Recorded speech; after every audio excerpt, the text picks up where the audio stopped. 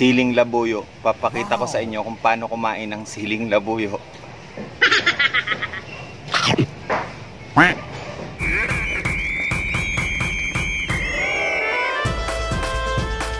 Ooh, what's up ketchup? It's your boy Wilski, ang lalaking gwapo pero hindi uso.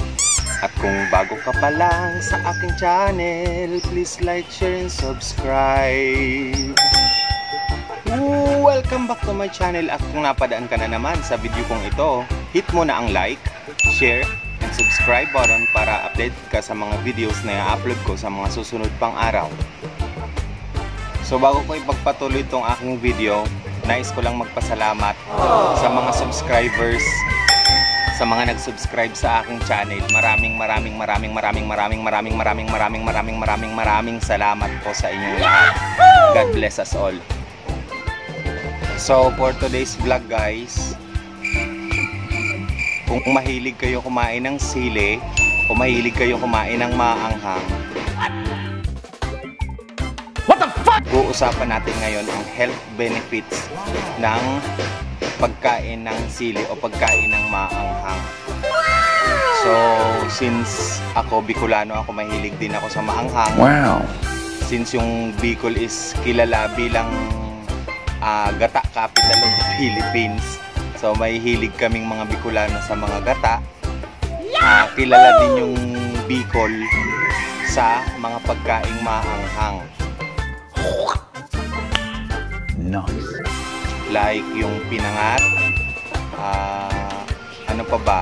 Basta everything na luto na may gata. Wow. Tapos hindi rin siya nawawala ng sili.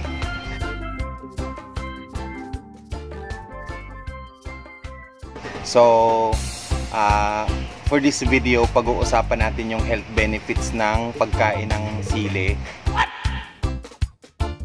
What the fuck? o pagkain ng maanghang. Pero guys, disclaimer lang, yung ibabahagi ko sa inyo na health benefits ng sili is nabasa ko lang din sa mga website. So, disclaimer ko, hindi ako yung eksperto na magbibigay sa inyo ng health benefits.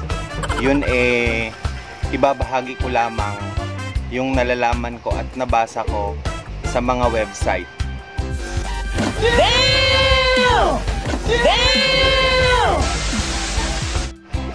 So, kung mapapansin nyo, ang aking background sa video ay sili. Siling labuyo.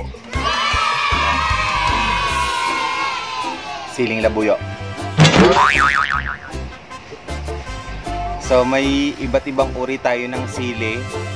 So, dito sa sa Maynila, meron din silang tinatawag na siling labuyo pero ah, medium size siya ah, maanghang din siya. Wow. Pero iba pa rin talaga yung siling labuyo ng Bicol kasi yung sili ng buy- labuyo ng Bicol is maliliit lang. So, kumbaga sa amin sa Bicol ang ang tawag doon busog. So, ang sili namin, sadit, pero malanit. Kumbaga sa Tagalog, maliit, pero malupit. So, yun yung aming siling labuyo. So, meron din tayong meron din tayong uri ng sili na mahaba, which is yung nilalagay sa mga sinigang. Ah, siling haba ang tawag doon. Yung kulay green, most of the time ginagamit is siling green kasi nakakadagdag sa panlasa o kaya sa luto, sa flavor ng luto, yung amoy nung sili na green kapag nilalagay sa niluluto. Oh my god! Wow! Oh my god! So, yung siling labuyo naman is yung anghang lang talaga. So, meron din tayong sili na may mga sili tayo na walang anghang.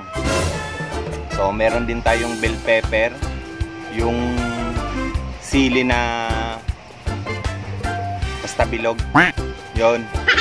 Tapos meron sa amin tinatawag na siling demonyo. Sorry for the word. Pero meron talaga sa amin ganun, yung sobrang anghang talaga. Pero wala akong mahanap na ano eh, wala akong mahanap na image. Kaya hindi ko maipapakita sa inyo. So, ayun.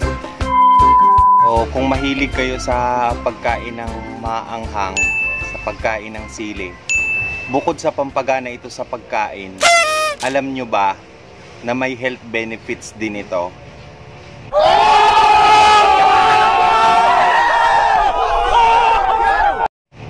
So, yun. Yun, yun yung pag-uusapan natin. So, first, first on my list is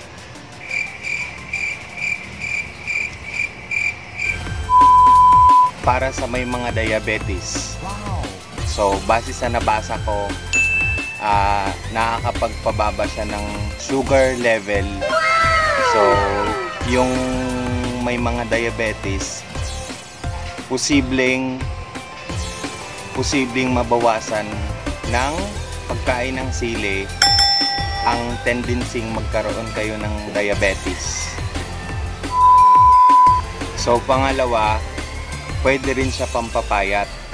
Kasi yung sili base sa pag-aaral, nakakapagpabili siya ng metabolism Wow. at nagpapainit ng katawan. So, mabilis niyang mabuburn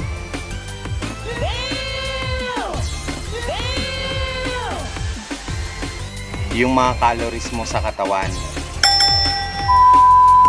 So, pangatlo, may tulong ito sa pagpigil ng kolesterol at sa sakit sa puso.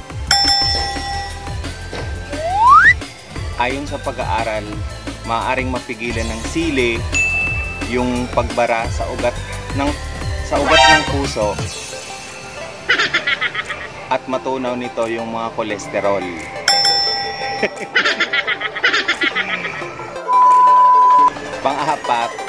nagpapaluwag din ito ng paghinga dulot ng sinusitis sipon. so, panglima, pwede rin siya pang-alis ng sakit ng katawan.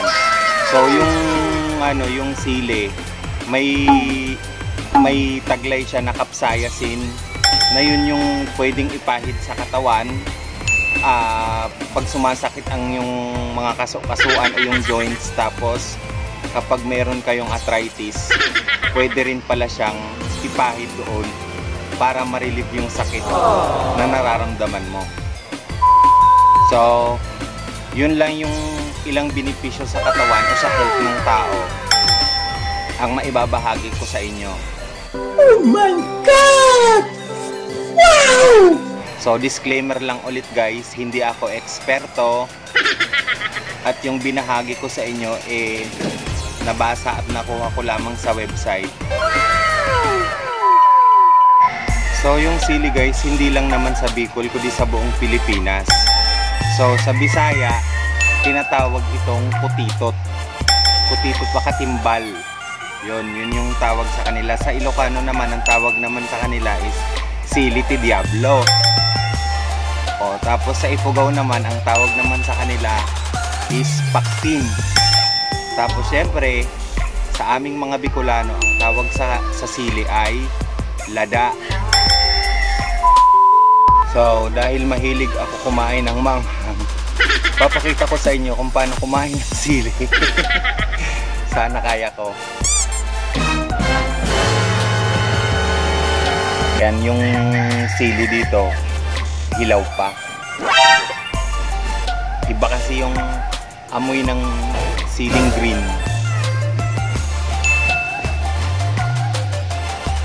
Ayan, mag-focus ka.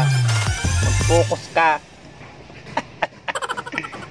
so, ito, siling labuyo. Papakita ko sa inyo kung paano kumain ng siling labuyo.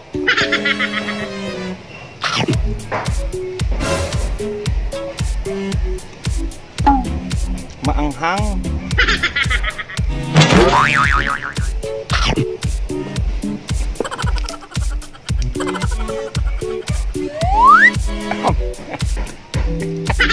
Alam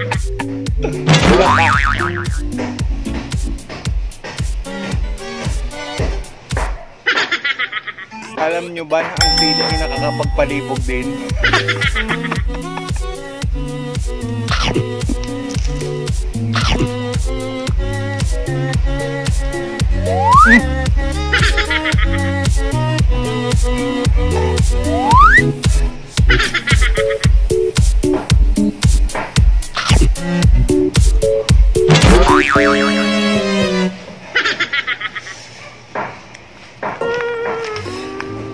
Naluluwa na ako sa anghang.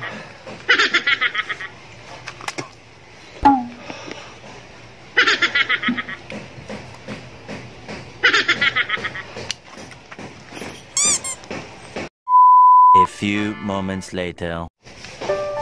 So ayun, hindi ko kinaya yung anghang ng sili sa naluha ako. Oh my God. My God, I hate drugs. Ngayon ko lang napagtanto na hindi ko pala kaya kumain ng sili.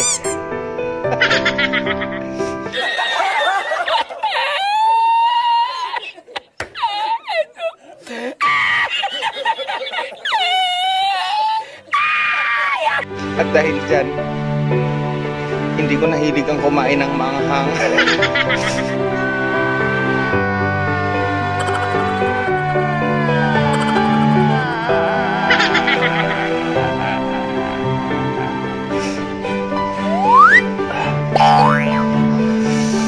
God.